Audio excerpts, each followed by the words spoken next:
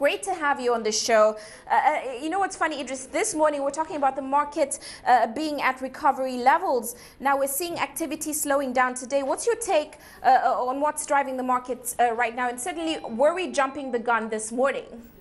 Yeah, thanks, Uche. Um, today in the market, we witnessed mixed feelings in the market as a whole. We saw some appreciation in some banking stocks as well as some um, brewery stocks. Um, we saw First Bank gain today and Guinness, and uh, likewise, we saw the likes of GT Bank, Access, Nigerian breweries um, um, being on the losers chart. At the, end of the, at the end of trading today, we saw most market indicators down, with the ASI closing on a slightly negative, not losing five basis points. Um, volume and value were also down compared to what traded in the market yesterday. Volume was down by 43% and value was down by about 19%. Uh, what we actually witnessed in the market was um, there was a kind of volatility in the market. We saw the banking sector driving the volume charts today with Zenith Bank trading the most, followed by First Bank, Diamond, and Fidelity. And we saw GlaxoSmithKline also trading actively in the market today. Um, looking at it as a whole, there's quite a lot of activity. We can actually say the market has a recovery stage, but uh, what we've just seen is um, a blend of both buying and selling in the market as a general one, and this is what the market actually needs to make a perfect market. Mm. Well, Idris, let's talk about some of the Flour Mills, uh, from some of the results that came out. We saw Flour Mills uh, Q1 results uh, uh, come out amongst others. Now, they came in better year on year. Uh, we saw sales up 10.1%, gross profit up 15.4%. Uh, what is your take on these numbers? Yeah, the numbers for our news released today looks very quite attractive. We saw growth in their um, in their, in their um, turnover um, by about 10% to 71 million billion. And we could actually link this to um, lower wheat prices and increase in bread wheat, uh, bread wheat volume in the market. Um, this is actually a positive one for flour mills. And going into the, the, the, year, we don't, because as, an, as a result of an increase in wheat flour prices, we might actually see a slight decline compared to what the expectation um, expected from the company at the end of the year. But all in all, we still expect them to do great at the end of the year. Mm. Well, one thing I did note was oper operating expenditure was up about 19.6%. Now, they say on the back of conflict uh, in the north. And, and I'd like to ask you, uh, Idris, there's been some concern uh, over the outlook for these companies. And when I say these companies, I mean millers like Dangote Flour and Flour Mill specifically. Like you said, wheat prices are soft right now, but they're expected to increase. Uh, we have a new tariff regime uh, for wheat imports. And also, I mean, there's concern over the impact uh, on volumes with prices of flour-based staples uh, going up about 10%. I mean, with all these, uh, what is your outlook for companies like flour mills, companies like Dangote Flour?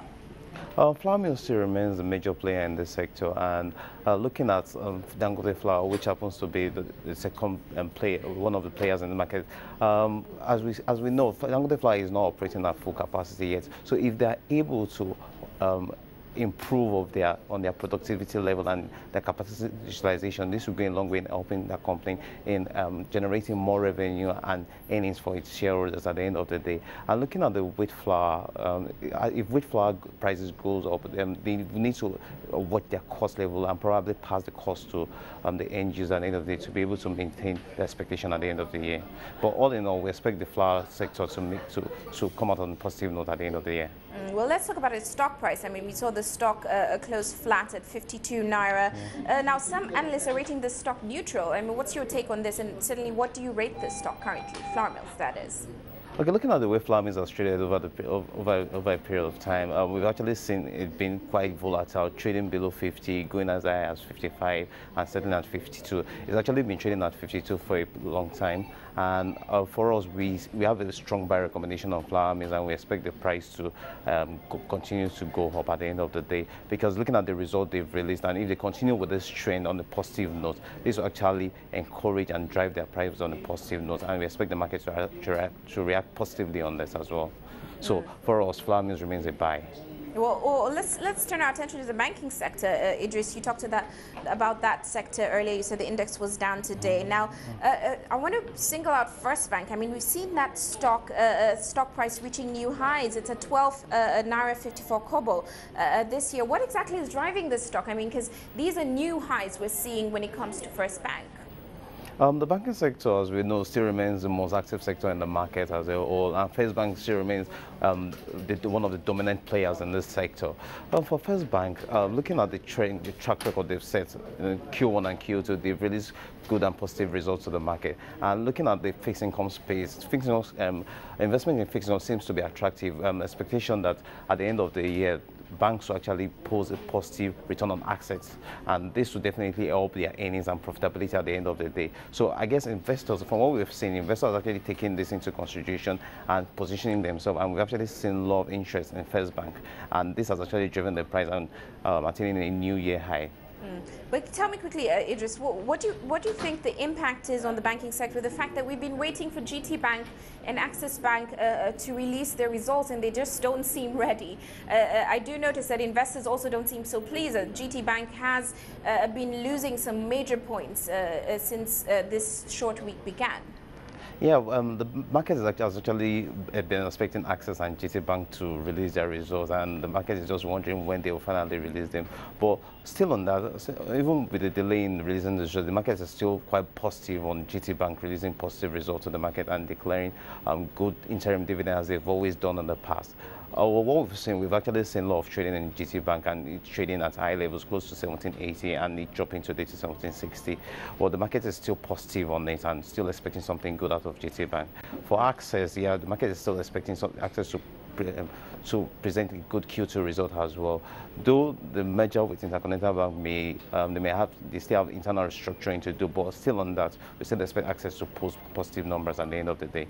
And this should definitely drive their share prices on the positive note at the end of the day. Mm, well, going forward, Idris, uh, give me your outlook on the market. I mean, this morning, uh, one sector that we really talked about was the FMCG sector, where we're seeing stocks like Nestle, uh, we're seeing stocks like Guinness performing quite well, reaching highs uh, uh, uh, this in the past week and yesterday that they haven't reached this year so far. So, what is your outlook for the market, and, and, and of course, which sectors are going to drive growth for you?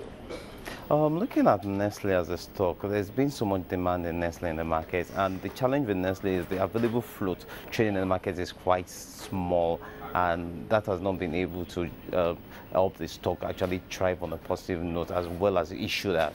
Um, Nestle still remains a defensive stock and a stock which every investor will always want to buy into, but the float of Nestle is very, very low. So this has actually um, in that trading volumes in Nestle as a whole. And well, for me, I still believe Nestle still has a room for growth in the price of Nestle. Guinness today, we saw a positive gain in Guinness today in the market, and it shows that um, investors are actually looking at Guinness as well as a stock to invest in. And the expectation is at the end of the day, Guinness should be able to produce, to post positive numbers for investors to make good out of it. Well, thank you so much, Idris. Certainly, the FMCG sector seems to be coming uh, to the forefront more lately. Thank you, uh, uh, Idris, for giving us your take on the market.